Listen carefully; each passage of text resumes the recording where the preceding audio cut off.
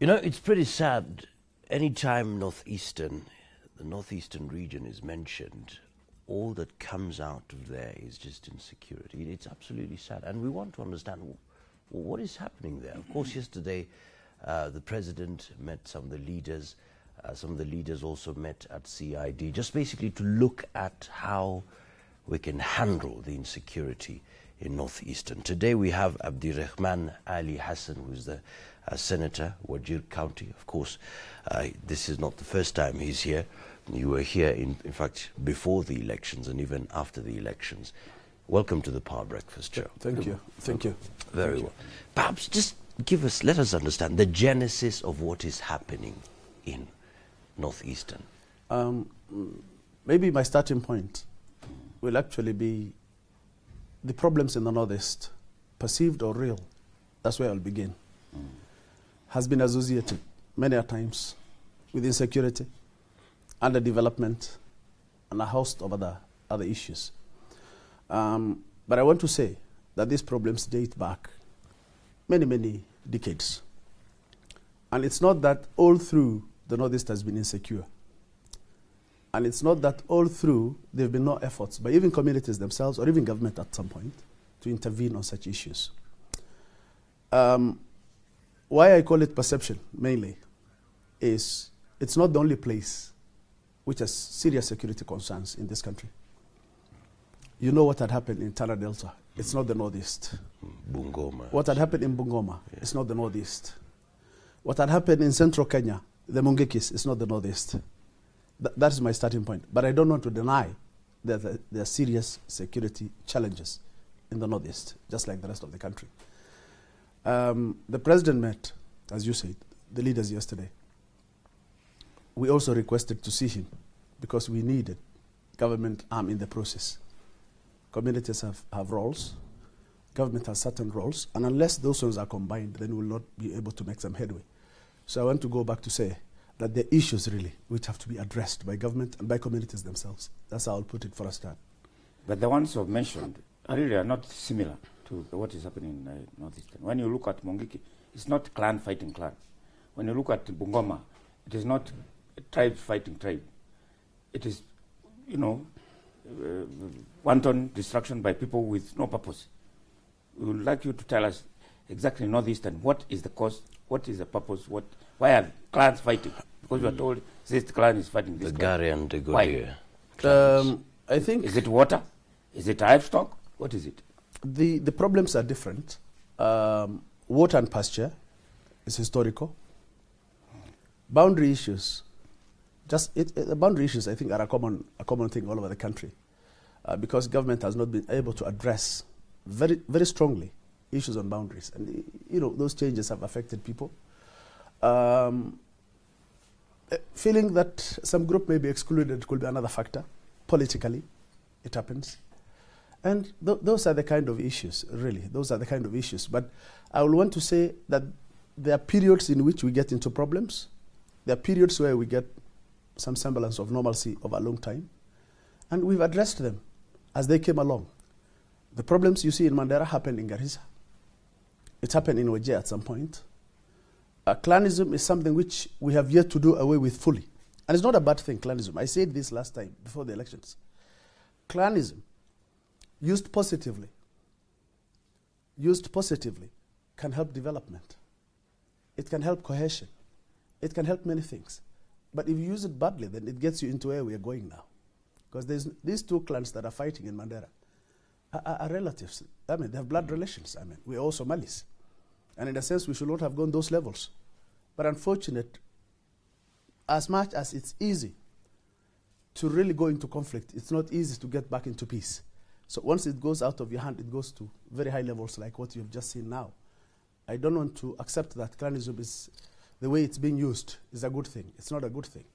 There, there, there's a concern here because some of the attacks were actually happening even as leaders from the region met officials from the National Cohesion and Integration Commission to reconcile the two warring communities. What is it that we're not doing that we should be doing?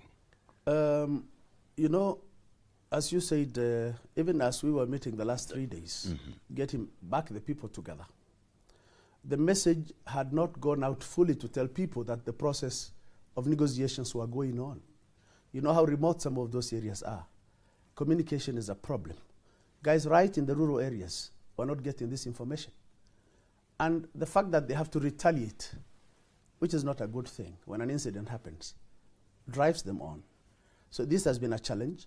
But I think from Sunday, when we finally agreed, as the political leadership from the region, religious leaders, and even businessmen included, opinion leaders, very important opinion leaders from the respective clans, uh, have helped in coming to some kind of a solution.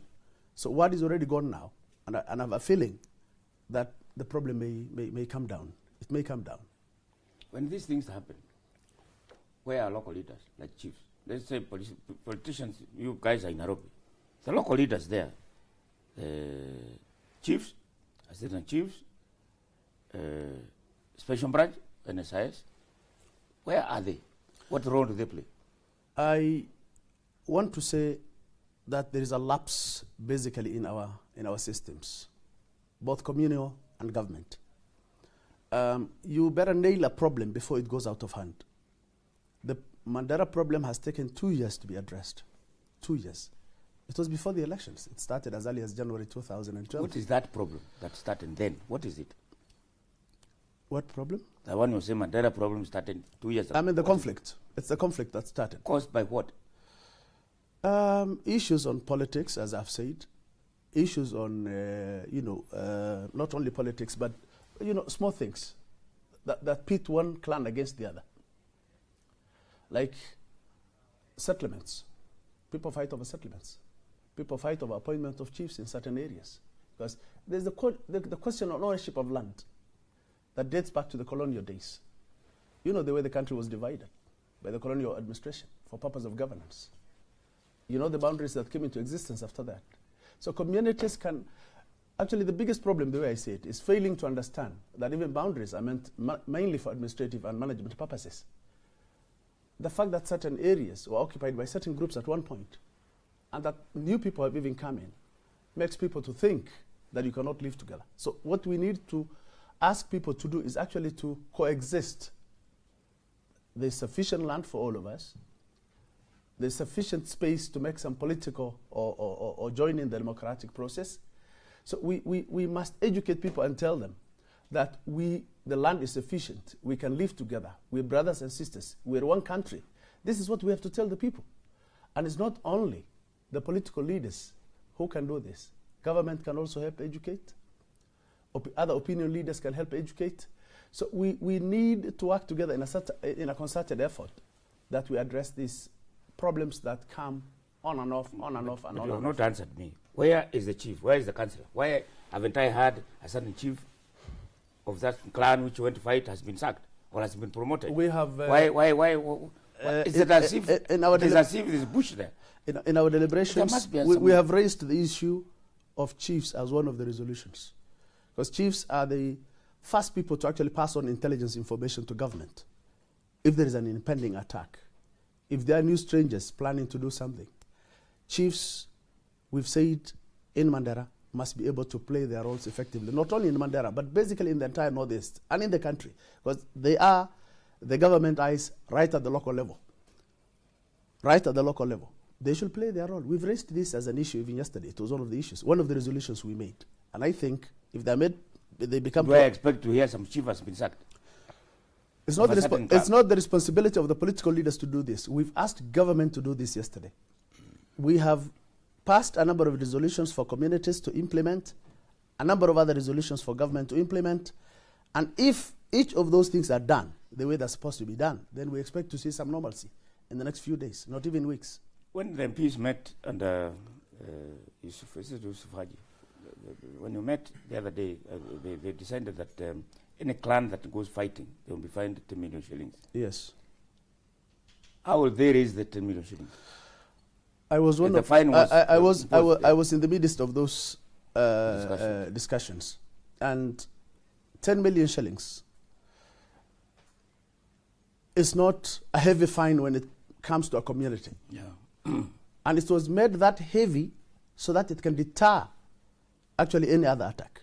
So they feel the pinch, And this was de- decided by themselves. We borrowed a leaf from the community's traditional conflict resolution mechanisms. This is what they do back at home. When animals are stolen, if there are 100 cows that are stolen, for instance, a community could decide that the community that has done the aggression brings back probably 200. We've had similar things. We had problems between Isiolo and, and Wajir at one point. We had problems within Wajir. There's what we call the Modogashe Declaration, which is commonly known in that province, the, the old uh, northeastern province, which is now in counties just like the rest of the country. Yeah. And I remember elders had resolved using those traditional mechanisms, like what we did for the bit of the 10 million fine. They can raise, a whole clan can raise this money. But it may be difficult to do it very quickly, but it's meant to deter actually any other attacks. And I think that's why we say blending the traditional mechanisms with government systems may help out this kind of a problem. Because what people understand better down there is using our traditional modes of resolving conflicts much more than because the government will only do an operation to disarm people, yes, but have you given them a chance to coexist and reintegrate back to themselves and move forward together as a community again? So it's very necessary to combine both. Right. Uh, remember, you can actually send in your questions. The number is uh, 22422. If you have any questions uh, for, the, uh, for, for, for the senator, there, there's somebody here who wants clarification. Is it true that uh, Gare community has always um, has always been on the defensive, while the Degodia has always been on the offensive side?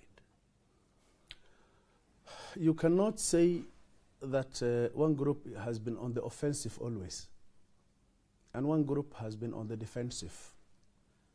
These things are not the, the conflict erupts. And when it erupts, the group that has been on the receiving end at one point could be the aggressor at another point. So we, we cannot exactly say there is a community that has done this always, and there's a community that has been on the receiving end always. I doubt whether that happens. It depends on what triggers the problem. The, the problem could be triggered by some cattle theft. The problem could be triggered by a chief who was employed somewhere. The problem could be actually could trigger over a watering point, conflict uh, uh, emanating from shortage or, or, scarcity of water. So we cannot actually. I don't know who's done that research to say mm. that this. I have not had that kind of a of a thing. I've worked on conflict issues for some time. I come from the region, and I doubt whether we can pin exactly one community as yeah. uh, the, the, aggressor always. There's another question here from Yusuf uh, from Nakuru says uh, kindly ask the senator's view on the president's statement that if they fail to disarm themselves, the government will use force. I personally support disarmament. This I must say from the onset. Um, the president was very good when we met him yesterday because it's, it's his prime responsibility. He swore under this constitution to protect the lives of Kenyans and their properties. Um, of course, the use of and, and, and, and he, it was a very interactive meeting, I must say, because he gave the leadership a chance to participate, even if it was going to be the enforcement of that disarmament exercise.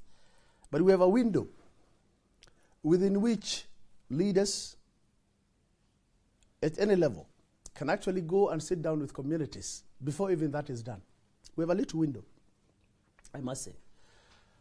And the use of force at times is inevitable. But it has collateral damage. At times, an innocent uh, civilian could actually suffer in the process. So, before that, it's always good to check what is this that can be done. And I think the president has very well articulated his position yesterday. And people were happy with the way he had, he had spoken to the leadership. So each, he's asked everybody to take his role. Government must take its responsibility, and he said leaders must also do it. And he said through leaders, we could solve even this problem, which I agree with him myself. The police, uh, the inspector of police, inspector general thinks that politicians are involved. In fact, that's why he has asked them to go to make statements at PCI headquarters. Some of you leaders don't dispute that, that they have been financing and sponsoring the, the fight. is, that, is that the case? When, when such conflicts occur, people point fingers in many directions, including the political leaders. And not all political leaders may have a hand in, in some of these things. Not all. But in Tana River, for instance, people arrested, politicians. Yes, but I want to continue to say, I've yes. not finished. Mm -hmm. I want to continue to say, um, asking uh, people to go and record statements, it's just too late. It's just too late. If the police had an evidence early enough, linking individuals to, because why, why will you want to act even that late? If you think, because one and a half years down the road, we had these issues happening. If you thought some politician was involved in some way, they should have taken action long ago.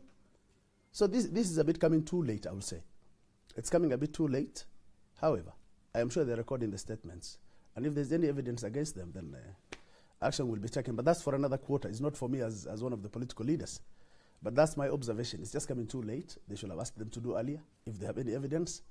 However, if it's going to help in achieving what we are looking for in terms of uh, a, a, good, a good uh, peace, then I will have no problem with it myself. Why can't politicians who know that their colleagues are involved in it go and tell the police, we know it uh, much more so and so who uh, fin uh, financed the Gare or financed the Godia. Why can't you politicians, because they know anyway, go and say so? Must they wait uh, for, for a political leader to come out and, and, and say this? Uh, I, thought, I, I, thought every uh, agency or organ or institution should be able to have its systems uh, to be able to identify what the cause of problems are in certain areas. So you are saying the police have failed? I would say they have, they, they have taken too long to actually come out and say who the people are because we, we can't keep on telling people to guess who the culprit is. You can't guess. You must be sure and say that we know it's coming from so and so. So come over, record a statement with us, take him to court, and move on. The, the, the, there's, there's, there's, a claim, um, according to the people, actually today, uh, detectives are pursuing an MP from Wajir County who, whom they believe uh, to be among politicians actually suspected of orchestrating the violence. In fact, it says that the MP actually attended the meeting at State House. Do you have any idea? I, I am not in picture. I'm just hearing it from you for the first time. Mm -hmm. So I'm, I'm not really in picture of, a, of an MP from Wajir County being pursued on this matter. I'm not in picture. Mm -hmm. I do not know for sure. So basically, are you saying there is no possibility that a politician. There could be a possibility, mm -hmm. but it's not within my purview, really, to know who the person is. I, I do not know, because I don't work for a security agency or an organ. I mean, to my knowledge, political leaders have responsibilities, and my understanding, they have responsibilities to lead from the front and ensure that we do not continue to lose lives. They have a responsibility we must take our responsibilities as political leaders seriously, irrespective of really whether your clan is fighting or not. You need to ensure that your clan does not fight because you, you, you can help out. Just uneducate the people and say, this is not right. We should do development. We should do other things. They have certain responsibilities. But we cannot nail an MP or a senator to say, you are the cause. They could be involved. But this is something I do not know myself. And I can't, I can't really say it's so and so myself. I, I wouldn't know myself at this stage. In your view, what is the permanent solution to the problem? Education is one thing, because people fight. Well, you are trying to say it's primitive. For, for me, I'll not say it's primitive. I'll say it's ignorance. Yeah. There's a big difference between being primitive and ignorance. Uh, failing to know, failing to know that you need to do something else much more than what is happening.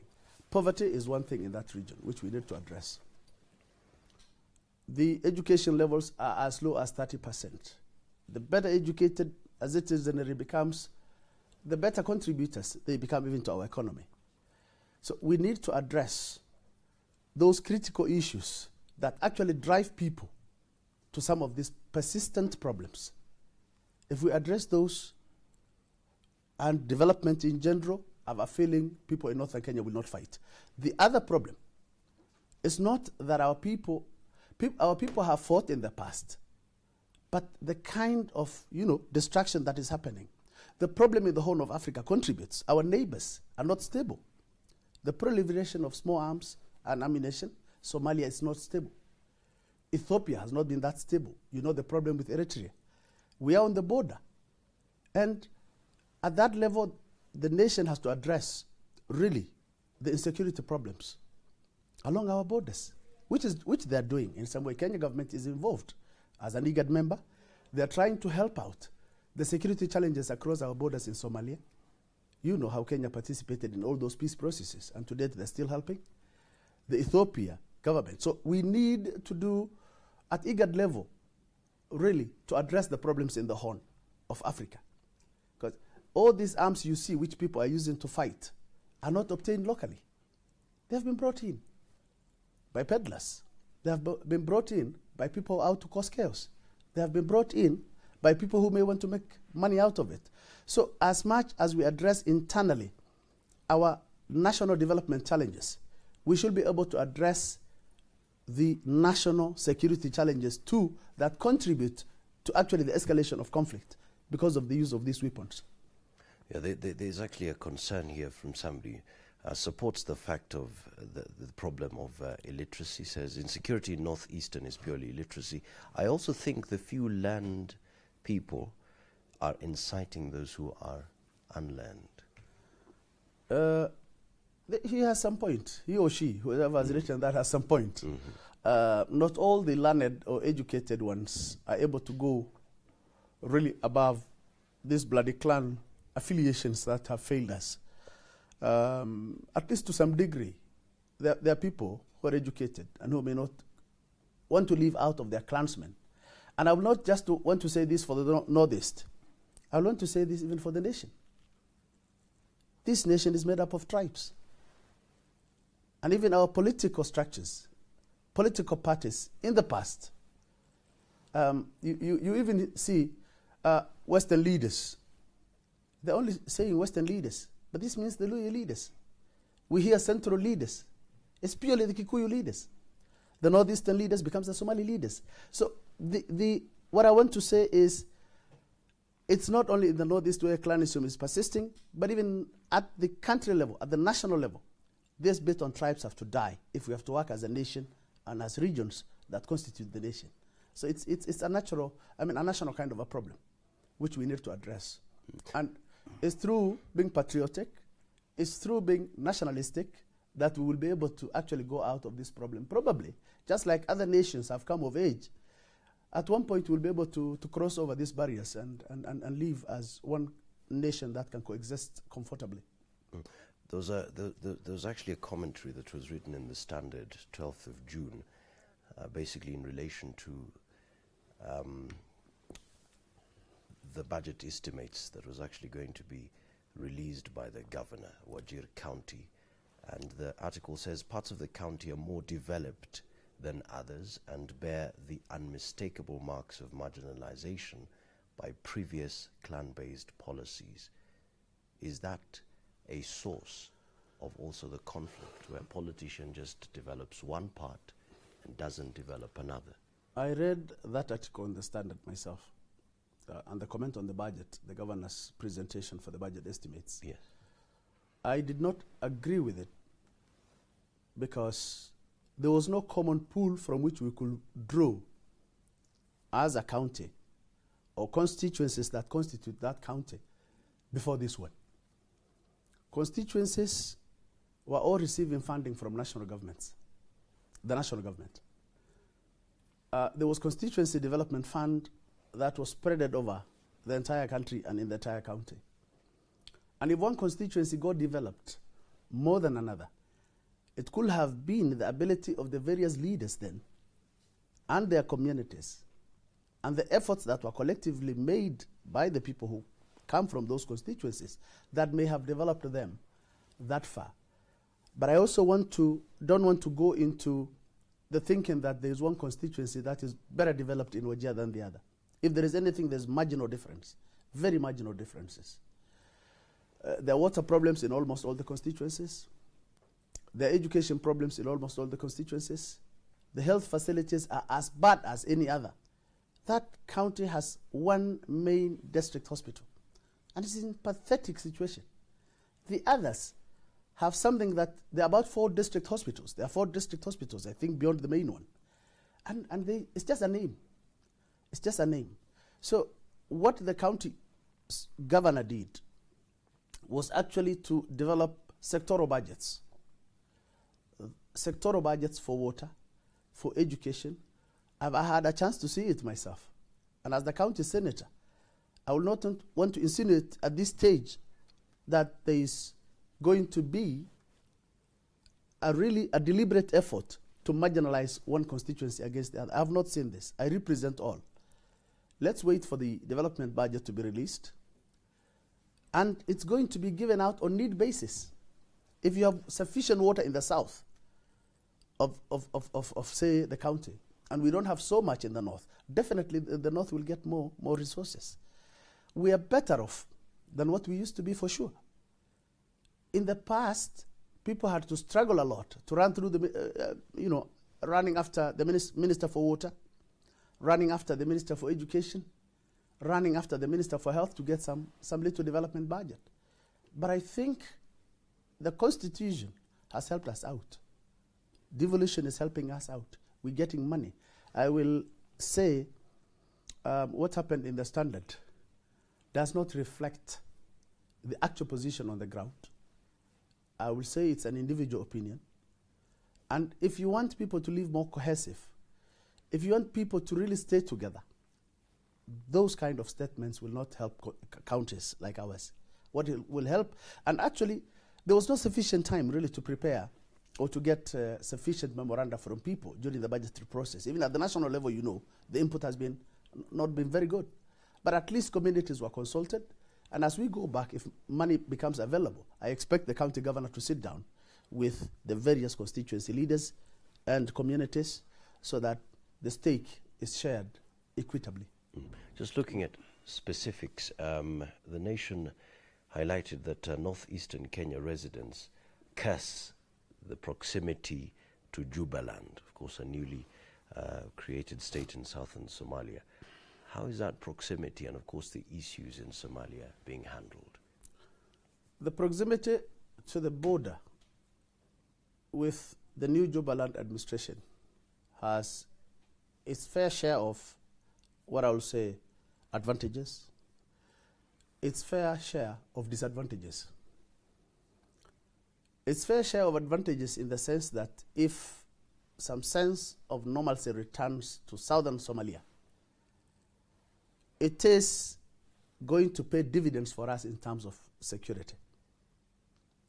It's going to give us the Kismayo port, really. We'll be able to benefit a lot in terms of cross border trade. This will help our people up. The disadvantage is that of the insecurity which we are facing because the borderline, the areas that are only seven kilometers, 10 kilometers, Mandera is just adjacent actually, it's not even seven kilometers, Ulahawa on the other side. Dif, the southern part of the country where I come from, it's only seven kilometers to the border. Liboi and Doble are adjacent. And why I talk about the Horn of Africa problem, the um, uh, why I said even IGAD should help us address those security challenges is because from the time Somalia collapsed, there's been flow of arms. It's not a secret. It's not a secret. There was no central government. All institutions have collapsed. And our insecurity has actually emanated mainly from some of these places. So I have a feeling the Jubaland administration, if it takes root and the Somali government, because the, the administration, to my knowledge, is not an autonomous state. It is actually a state just like any other small state being governed locally, but direct link to, to the national, the, the federal government of Somalia. So if, I, I don't think whether um, the Jubaland administration has taken root as such, if the Somali government can actually take up its responsibility, and it, we, we realize that peace in Somalia can only be achieved in a compartmentalized way. You, you, you normalize some, some area, normalize another one, normalize another one, you know, and finally get them together. It's not forming breakaway autonomous states, but forming one union that is managed by the locals themselves. You know, all the peace efforts that have been put in by internationally on Somalia, and it's a challenge, it's a global challenge. So it's really good for us if they can normalize. We'll, we'll, we will benefit the way I have told you. We've had all those problems coming to our side from them. The Garissa problem, which you saw, because we're not talking only about Wajir and Mandera, uh, is attributed partly, partly to the problem in Somalia. So I have a feeling if they normalize, then not only the Northeast, even Kenya as a country will be very stable. So uh, that's how I feel. There are allegations that uh, the, the, the most recent um, clashes in uh, Mandera and something to do with the March elections, as you so yourself alluded, and the by-elections that and the petitions that are in court. What is the meaning of that? We have addressed this through our our, our last meeting. Uh, what what what, And, what is the uh, gist of it? Um, you know, petitions are normal. Petitions are normal. They're constitutional rights of individuals to actually do a petition. Politics, just like what had happened in Kenya, I mean, parts of Kenya, like the Rift Valley, we've been hearing is the question of land, the question of politics, and they were only addressed after communities seriously engaged. Our problem in the Northeast when it comes to politics is no, no different from those. If a community feels that they, they, they, they are not represented and they should have been represented, they are bound to have, to have issues that, that, that, that come up. And I think we've addressed it ourselves. In what way? Can you tell us publicly so that we know? What, what, no, we, we, we, we said let the petition continue, go to conclusion. What does a petition got to do with people fighting? Because if, if- Well, it contributes. I mean, it, it, it contributes. it doesn't occur to my head that if there is a petition, it's an individual. How, how does the community come in to fight?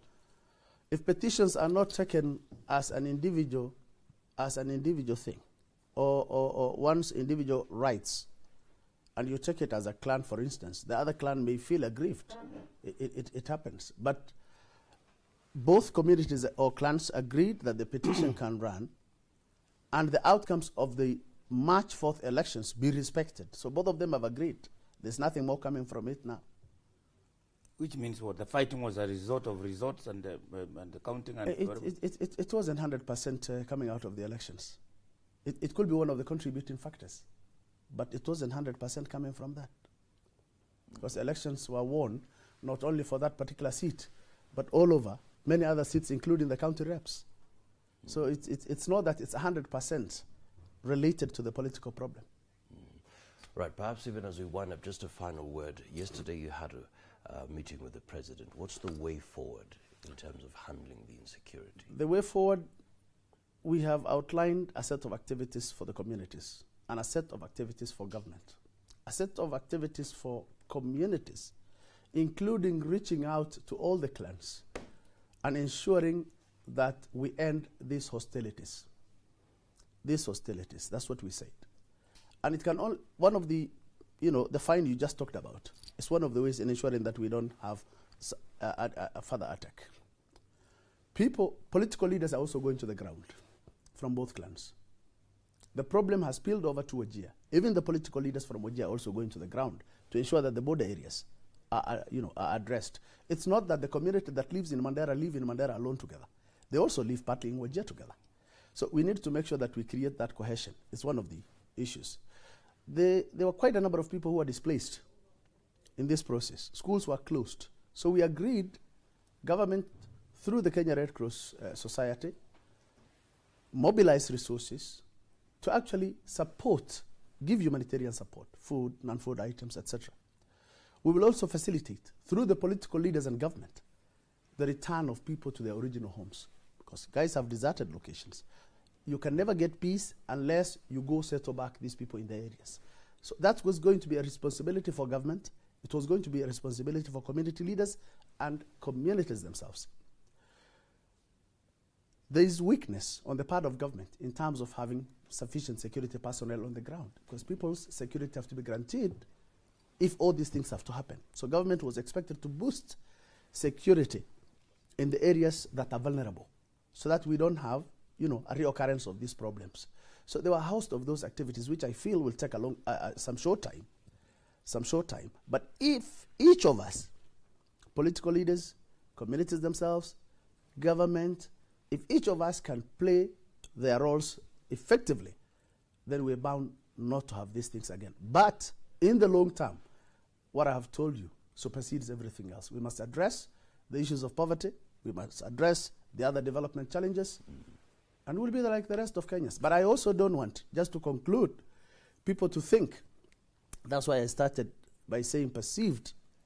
That I remember days when we could not go with less than one DC one time said we cannot go around the Wajir district, then a district, without having eight armed security personnel in your car. So we will not want to be taken back to the era in which we've lost a lot of development just because of an isolated incident that may have happened at some point. That's why I said we don't want the perceptions to take center stage more than the serious. Uh, Is there any uh, possibility of disarmament? It will happen.